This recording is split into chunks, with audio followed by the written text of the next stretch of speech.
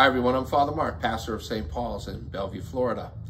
The scripture teaches in order to rejoice in hope, to be patient in suffering, and to persevere in prayer.